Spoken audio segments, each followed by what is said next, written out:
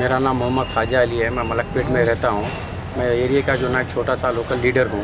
वहाँ पर हमारे मस्जिद में जो ना मलकपेट के पास जो ना गुद्दार मस्जिद है, वहाँ पर एक गरीब जो है ना जिसका नाम नरसम्मा है, भीख मंग लेते बैठते थे उन्होंने इतफाक़ दो तीन दिन पहले इंतकाल होगा, जो चकरघाट पी एस वालों को हैंड ओवर करे।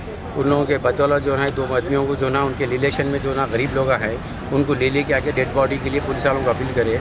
पुलिस वाले कॉपरेट करके जो ना डेड बॉडी हमारे हैंड ओवर कर रहे हैं। वो हमारे हैंड ओवर करने के लिए हम जो है ना यहाँ पर आए पोस्टमार्टम के लिए। वहाँ के जो ना हमारी डेड बॉडी के लिए हम ना डिमांड करें। तो उन्होंने हमारे को थाउज़ेंड रुपीज़ दियो।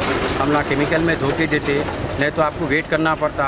अगर आपको अगर अर्जेंट है तो एक हज़ार रुपये देने के जो ना डिमांड कर रहे हैं वो गरीब औरत है। हम ना चार मुसलमान मिलकर उसकी जो ना पूरा मौज मठी कर रही जबकि ना हम लोग मौत मट्टी करने के बावजूद में ये लोग जो ना गवर्नमेंट से तनख्वाह उठाते हुए भी एक हज़ार रुपये का मुताबिला कर रहे हैं। ये कहाँ का इंसाफ है? लिहाजा इसके ऊपर जो ना फ़ौर एक्शन लेना और इसके ऊपर हम लोगों का डिमांड है कि इन लोगों को जो है ना सस्पेंड करना दोबारा ऐसा इस, इस तरीके की कोई गलती ना हो।